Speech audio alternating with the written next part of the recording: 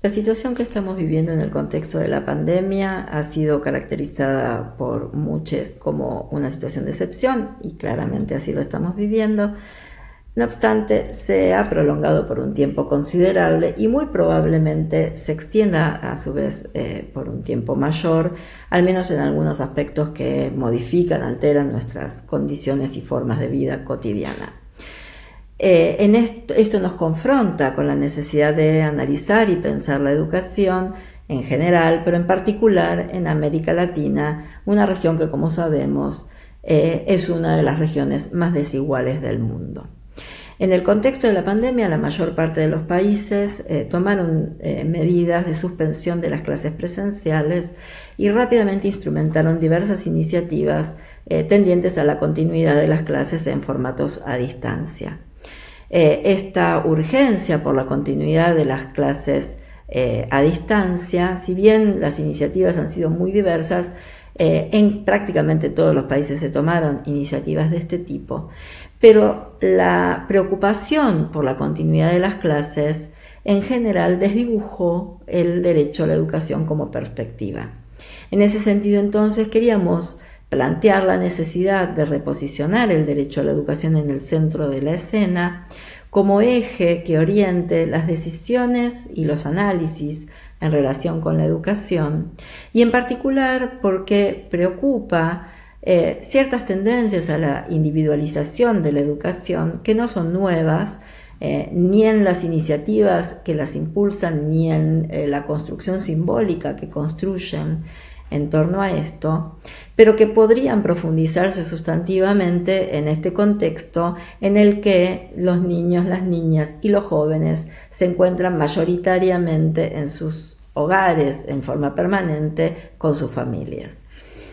Eh, estas tendencias además preocupan porque podrían ligarse con ciertas orientaciones de privatización y de mercantilización de la educación que quienes eh, venimos investigando sobre esto eh, venimos observando con eh, mucha preocupación. sobre todo en el norte de nuestro continente y también en otros países, hay dos orientaciones que podrían adquirir mayor envergadura en el contexto de la pandemia. Una de ellas eh, tiene que ver con lo que se conoce con el nombre de homeschooling, educación en el hogar, que, eh, que tiene dos eh, componentes. Por un lado, un componente político con un fuerte contenido moral de formación en el hogar por parte de las madres y de los padres como un modo de proteger a los niños y garantizarles un mejor desarrollo, protegidos de, entre comillas, los males de las sociedades actuales y cómo esto puede ligarse también con cierta idea que se construye, se está construyendo socialmente en el contexto de la pandemia de que el ámbito seguro es el hogar y es la familia. Eh, y estas iniciativas de homeschooling, a su vez, decía, tienen un componente de privatización porque en general tienen que ver con ciertos paquetes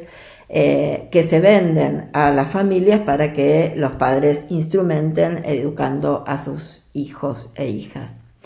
Por otro lado, la otra orientación que preocupa tiene que ver con la expansión de ciertas plataformas de venta de cursos y de herramientas eh, que se orientan de manera directa también a madres y a padres para formar a sus hijos en ciertas capacidades eh, que se identifican como necesarias para una inserción exitosa en la sociedad.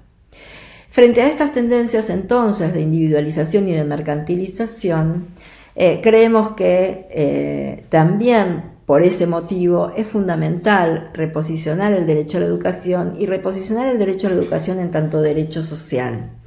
En esta semana se repitió mucho eh, que del contexto de la, en este contexto de la pandemia y de la situación de la epidemia, nadie se salva solo y que solo la salida existe si es con otros. Diría que esto mismo rige para la educación y toma cuerpo en la educación pública y en la escuela pública. Eh, la escuela pública como ámbito eh, que recibe a todos, que alberga las diversidades, pero que además tiene el potencial de construir una respuesta eh, que de alguna manera confronte con los procesos de construcción y de reproducción de las desigualdades que probablemente se profundicen también en este contexto. Es por eso que entonces colocar a la escuela pública en el centro y reposicionar el derecho a la educación como derecho social adquiere una enorme relevancia. Siempre la, tuve, la tuvo, pero en este contexto es aún mayor.